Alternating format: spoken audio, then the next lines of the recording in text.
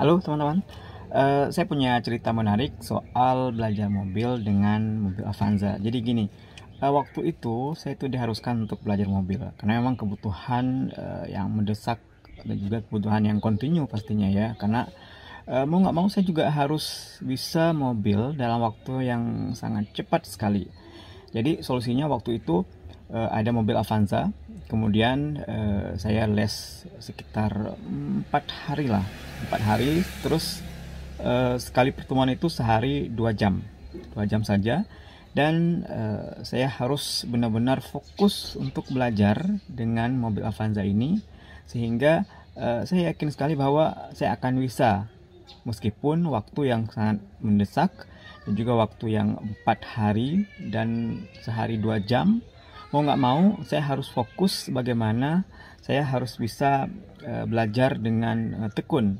Yang pastinya gini uh, waktu belajar mobil itu uh, apa ya takut khawatir deg-degan dan juga banyak hal yang memang dipikirkan. Apalagi kalau misalnya kita mabuk perjalanan ataupun karena uh, biasanya uh, saya itu orangnya yang yang uh, cepat takut terhadap hal-hal yang uh, besar misalnya terjadi apa pun di jalanan gitu.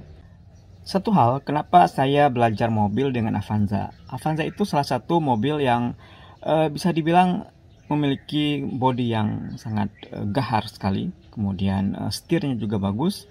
Kemudian uh, koplingnya, remnya, dan juga gasnya itu bisa uh, punya ciri khas tersendiri sehingga kalau saya belajar itu bisa membuat saya lebih yakin dengan keadaan bodinya, dengan semua yang dimiliki oleh Avanza, saya bisa mendapatkan hasil yang maksimal. Akhirnya, saya bisa mendapatkannya dan saya bisa belajar mobil dengan baik dengan Avanza. Salah satu salah satu kuncinya itu adalah yakin apakah saya harus belajar dengan benar ataupun saya uh, enggak sama sekali. Dalam uh, sehari dua jam itu rasanya memang nggak cukup ya untuk belajar, apalagi saya harus uh, kontrol setir. Uh, saya harus uh, memainkan kopling dengan bagus. Saya harus injak gas dengan benar-benar perlahan. Tetapi dengan Avanza saya bisa memainkan peran itu dengan bagus. Artinya saya bisa memegang setir dengan baik. Saya tidak kelabakan saat belok kiri ataupun belok kanan. Ataupun saat menginjak kopling itu benar-benar saya harus merasakan sekali keadaannya sehingga saat memasukkan gigi satu, gigi dua sampai seterusnya itu tidak e, tersendak-sendat ataupun bahkan sampai mati. Memang sih ya saat belajar itu e, beberapa kali mati itu wajar lah ya, apalagi saat e, tekan kopling terus e, giginya terlambat dimasukkan itu pasti akan mati. Ataupun e, saat kita mau belok atau keadaan yang lain Uh, sehingga gasnya itu ditekan sangat uh, kuat sekali ataupun gasnya itu uh, dilepas uh, seketika bisa jadi mobil itu mati. Dan itu jadi perkara yang uh, sangat uh, besar sekali pengaruhnya ketika saya sudah uh, berhasil belajar mobil dan juga lancar sama saat ini. Uh, hal lain yang bisa kamu pelajari ketika belajar mobil dengan Avanza itu adalah uh, kita memainkan peran yang sangat penting ketika uh, di belakang kemudi Artinya, setir Avanza itu memang benar-benar uh, kuat sekali, kokoh sekali untuk kita untuk uh, belajar karena nggak sembarangan mobil itu bisa seperti ini. Artinya, dengan setir yang Avanza miliki uh, yang sedemikian rupa ini, kita bisa belajar dengan maksimal.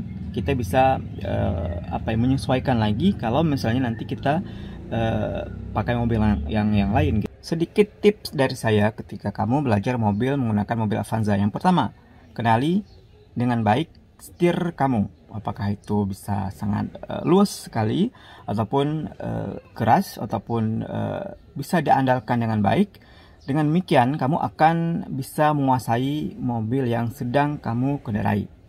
Yang kedua pahami dengan baik antara kopling dengan gigi. Jangan sampai nanti koplingnya terlalu keras ataupun giginya terlalu keras sehingga kamu tidak bisa menguasai dengan baik. Yang artinya salah kopling, salah masukkan gigi, mobil bisa berhenti tiba-tiba.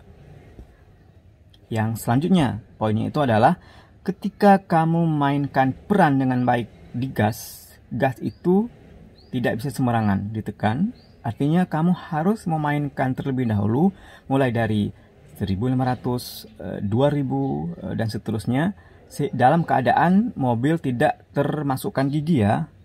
Dengan demikian, kamu bisa e, memainkan perasaan ketika berjalan nantinya. Oh, kalau misalnya segini, itu gasnya harus segini.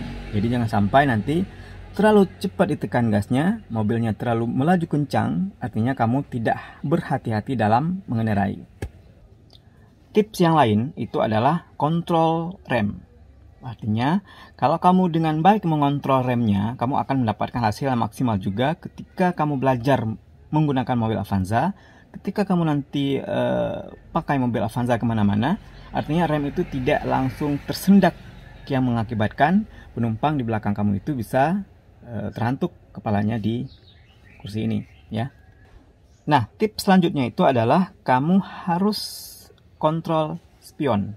Artinya ya, kalau kamu belajar mobil ataupun kalau sudah uh, pintar mobil, spion itu kunci utama untuk melihat ke belakang. Kita memang mengontrol mobil kita sendiri, artinya di luar itu ya terserah orang lain ya kan. Tetapi kita harus kontrol juga bagaimana spion itu menggunakan fungsinya. Saya menggunakan spion dengan baik karena kenapa? Saya nggak mau nanti mobil tersenggol apa pun. Jadi Belajar mobil, spion itu juga harus diperhatikan baik-baik karena itu menjadi kebiasaan kamu kalau sudah mengendarai nantinya. Belajar mobil dengan Avanza, ya saya nggak takut karena dalam empat hari, sehari dua jam, saya bisa menguasai dengan baik dan akhirnya saya bisa lancar sampai hari ini.